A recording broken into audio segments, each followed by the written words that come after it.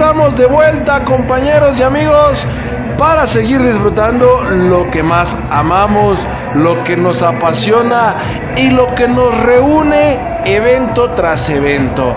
Así es, vamos a continuar con nuestro cartel de lujo en este evento que hay que recordarles que solamente Tortas y Café Superastro hace posible. Ya en el centro del cuadrilátero, como se podrán dar cuenta, ya está mi compañero Luis Amudio, me abandonó, así es, me dejó solo, pero solo se la voy a perdonar porque me va a deleitar con la presentación de estas cuatro hermosas mujeres. Las famosas Astro Girls ya bajan por el pasillo a la fama para dar paso a nuestra siguiente lucha. Y claro, como de que no, es momento de deleitar la pupila, de chiflar, de que las mujeres hagan su berrinche. No porque no sean como nuestras, nuestras Astro Girls, sino porque sus maridos las piropean más a ellas que a las propias esposas. ¿Y cómo no hacerlo si estas mujeres tienen calidad, belleza, espectacularidad? Todo hace un conjunto y un engrane único como solamente en estos eventos de tortas y café superastro podemos tener. Ya se nos viene nuestra siguiente lucha de la noche. Es una lucha en de, tercias, es una lucha de 3 contra 3 y es una lucha de puro rudo. Así es, señores, a todos aquellos que les gustan las rudezas, esta lucha va a estar llena de esas rudezas que solamente aquí podemos vivir y ya tenemos en nuestro cuadro, en nuestra pantalla, al primer gladiador de este encuentro. Él es Epidemius, un gran luchador que por algo está en esta función de tortas y café superastro. Este hombre va a ser tercia con dos, dos rudos de sangre que realmente corre por sus venas el 100% de rudeza, de malandrés, de colmillo largo y retorcido. Un hombre que ha dado de qué hablar es el que va a salir por esa cortina y va a caminar por esa escalinata y ese pasillo a la fama. Ya vemos esa esteta y esa figura que solo este gladiador puede tener. Su lo dice todo, todo mundo lo conoce y así se presenta en Tortas y Café Superastro con ese movimiento de pectorales mostrando la fuerza que solo Bobby Zavala puede tener. Vaya cartel el que hoy tenemos y esta tercia va de qué hablar. Y a continuación nuestro compañero Luis ya, está, ya lo está presentando, ya lo está anunciando, pero para mí también es un honor hacerle saber de este rudo que viene en camino. Este hombre que también es uno de los consentidos en esta arena Naucalpan es nada más y nada menos que eterno. Este hombre que ha dado siempre de qué hablar, no fuera del cuadrilátero, todo lo ha hecho adentro del cuadrilátero y miren, eso es por eso que lo queremos, que lo adoramos y que siempre lo tenemos, porque a pesar de que es rudo, tiene carisma, tiene cualidad, tiene ángel y nos divierte su quehacer luchístico, nos entretiene, nos gusta. Pero vamos a lo que sigue, porque ya está la primer tercia ruda y ahora se viene la segunda tercia ruda que sin duda alguna está llena de tres gladiadores herederos, continuadores de leyendas, escritores de su propia historia, que hoy son más que una realidad. Hoy son ya luchadores hechos y derechos, formados con escuela luchística y esa máscara es incomparable. Ese, ese porte también es indiscutible esa bata, ese uniforme, esa forma de presentarse de Dr. Caronte Jr. lo hace especial.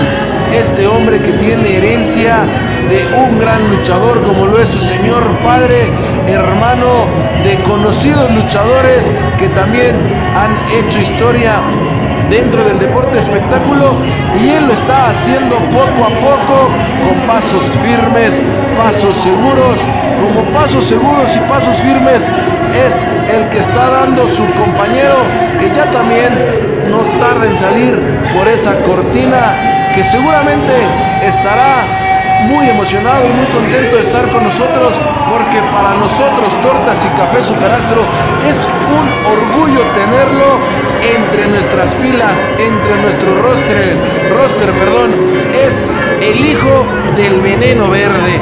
Así es, esa máscara que me hace remontarme a los años del toro de cuatro caminos, a la época de, hora de oro de la lucha libre, como lo era Fishman, que en paz descanse y donde quiera que esté le mandamos un gran saludo, pero hoy su heredero va a dejar en alto su nombre y eso es lo que busca lucha con lucha.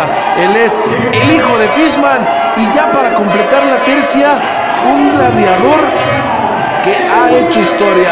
Primero, en otros laureles, en otros trabajos, lo criticaban mucho porque trabajaba como mini, buscó crecer y ahora en Tortas y Café Superastro se presenta para medirse ante los grandes y ya es recibido por esta manera por medio de Bobby Zavala, pero Demus es el que completa la segunda tercia de rudos en esta noche.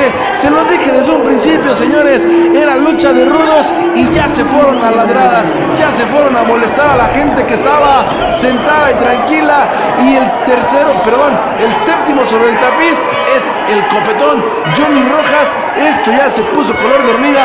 En tan solo unos segundos mi compañero Luis salió corriendo porque dijo yo no quiero que a mí me toquen los guarapetazos que en este momento se están dando, que ya está en la escalinata, están, pero si hasta para llevarse las cosas y se están poniendo color de hormiga, yo les dije al principio que este hombre de verde me hacía recordar las épocas de oro del Toro de Cuatro Caminos y trae la misma escuela que su señor padre.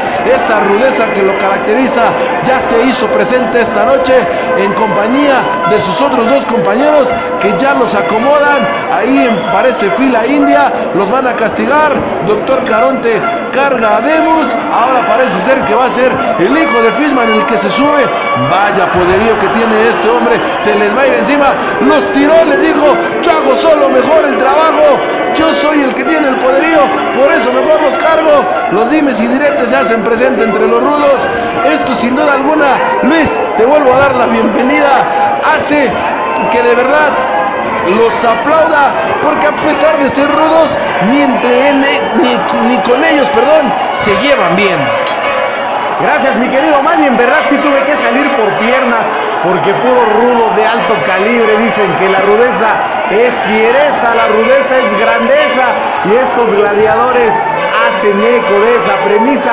Los vemos abajo del cuadrilátero, vemos a Caronte Junior y al hijo del veneno verde sometiendo a Bobby Zavala. Epidemius acaba de regresar desde la segunda fila donde fue lanzado de manera salvaje y otra vez, otra vez sobre la barrera de protección lo están castigando el bando que encabeza Demus y que comparte esquina con Caronte Jr.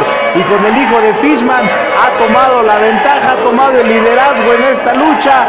Eterno está sufriendo, Eterno de los consentidos de esta arena Naucalpan, pero Demus, Demus que plaza en la que se presenta es reconocido como uno de los rudos más fieros que puedan existir en la actualidad de la lucha libre.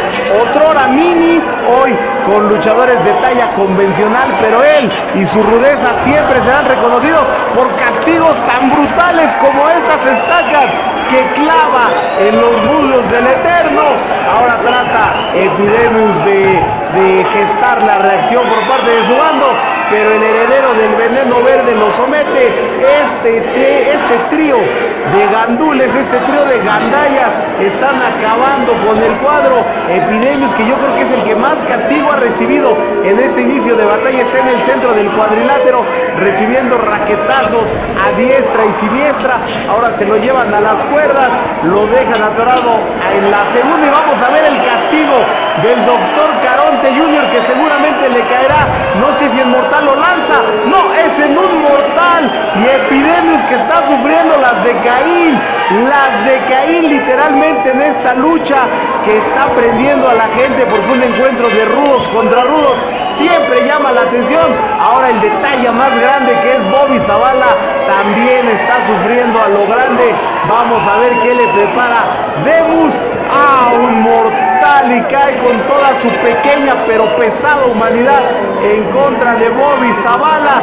Eterno ya lo regresaron al centro del encordado y está siendo mordido en la frente por parte de Demus y un jarabe tapatío que le está bailando también tanto el hijo del veneno verde como el doctor Caronte Jr. De verdad, Eterno yace, yace tendido en el centro del ring porque el castigo de estos tres rudazos ha sido incontenible, inaudito. No hay manera de que reaccione el bando de Eterno, Epidemius y Bobby Zavala. Sin embargo, ahora llevan a Eterno, a quien está reaccionando en este momento, y desde la tercera cuerda esquiva un golpe por parte del bando rival. Bobby Zavala de segundo y parece que la reacción llega en este momento. En el centro del cuadrilátero eterno está castigando al hijo del veneno verde. Ya entre primera y segunda fila, Bobby Zavala está castigando a, a Demus.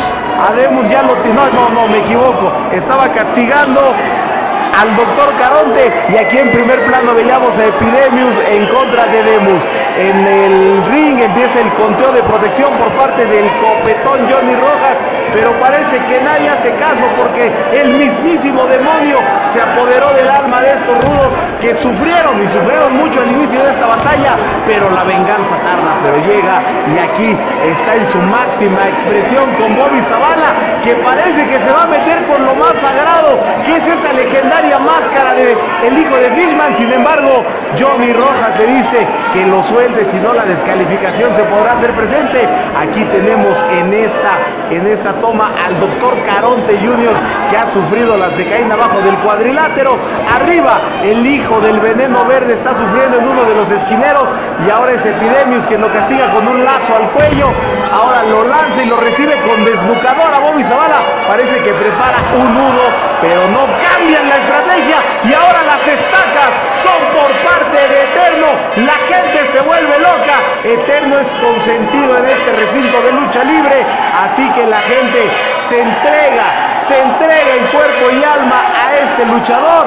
Abajo del cuadrilátero, muy castigado el hijo del veneno verde, esperando, esperando su oportunidad para poder gestar la reacción.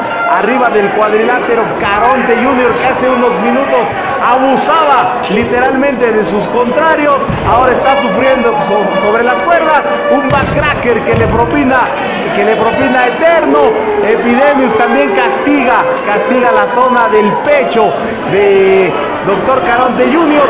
Ahora Demus recibe una pamba al más puro estilo de las que se daban en la primaria, trata de defenderse, pero en el suelo, en el suelo ahora le están bailando el jarabe tapatío y ese Demus que de verdad se pasa de rudo en función donde se presenta, hoy está en Tortas y Café Superastro sufriendo a manos de otra triada de rudos. Mi querido Manny, esta lucha está de alto voltaje.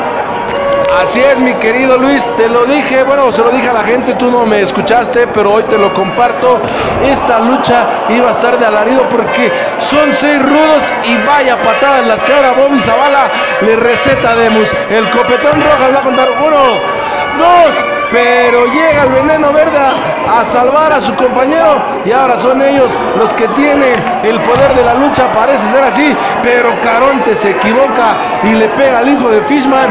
Esto, esto ya es la segunda vez que se equivoca Caronte y puede hacer enojar a sus compañeros. Hay que estar bien atento con esto porque podría ser factor en esta lucha mientras Caronte hace lo propio con Bobby Salava, Zavala, perdón, en el centro del cuadrilátero, ahí haciendo lo propio, mostrando la calidad con ese mortal hacia atrás. Qué manera de marcarlo tan bonito, de hacerlo espectacular, pero Eterno se acuerda que es rudo y llega a romper de esa forma. Y ahora es Demus el que hace lo propio con un derechazo que para mí era ilegal, pero el copetón Rojas no dijo nada, así que sigan las acciones. Demus se vuelve loco, empieza a soltar puñetazos, levanta las manos pidiendo la aclamación del público, solo, solo recibe las palmas de Johnny Rojas que dice yo te aplaudo porque no quiero salir regañado por ti mismo. Parecía que había un foul, pero Johnny Rojas dice no, todo está dentro de lo legal y ahora con una lanza Demus pone espaldas planas a el hijo de Fishman y es Epidemius el hombre que llega a salvar a su compañero para ahora castigar a Demus, aunque la afición se le entrega al de la cara pintada, al barbón que no se deja y al rudo, como bien lo comentaba Luis, que lucha a lucha siempre demuestra por qué es de los rudos consentidos dentro de la afición. Ahora viene la movidita con Epidemius y Demus que está haciendo una movida interesante, atractiva y más atractiva la forma de castigar de Epidemius que ya tiene el conteo de dos solamente porque el hijo de Fishman llegó a salvar al chaparrito de poder, que esto se está poniendo interesante y esto está teniendo a la gente al borde de la butaca, porque a pesar de que no hay lances, hay rudeza y hay espectacularidad. ¿Quién dijo que para tener buena lucha se necesitaba solamente volar y volar? Estos hombres están demostrando por qué los rudos son lo de moda, es lo de hoy en la lucha libre. Y nuevamente el hijo de Fishman con unas patadas ahora sobre la parte posterior y de atrás de Epidemius castigándolo así. Ya no sabe ni por dónde le está lloviendo lo tupido al hijo de Fishman. Perdón de Epidemius que ahora se prepara para volar entre la tercera cuerda. Un espaldazo espectacular dejando sembrado al hijo de Fishman ahí cerca de los pies de los aficionados, mientras Bobby Zavala se tropieza a la hora de correr para castigar al hijo, de Doctor Caronte, que es ahora él el que vuela. Esto se está poniendo bueno, señores. Los rudos también vuelan, mi querido Luis. Esto está interesante. Eterno, parecía que sea lo propio. Esto se está poniendo color de hormiga. Demos está castigando Eterno y ya no sabe ni por dónde le está cayendo lo duro ni lo tupido. Y viene Johnny Rojas con el conteo y nuevamente vuelven a romper y las acciones siguen. Ya Luis me volvió a abandonar porque sabe que esto se está poniendo color de hormiga y esto quizás puede llegar a su final. Uno, dos, tres. Ahí está el conteo de las tres palmadas y Eterno le da el triunfo a su bando. No puedo decir que es el bando rudo porque los dos bandos son rudos, pero estos hombres de Epidemius, Bobby Zavala y Eterno se llevan el triunfo. Vamos a una pausa y continuamos en esta magna función que solo tortas y café superastro puede traer para ustedes.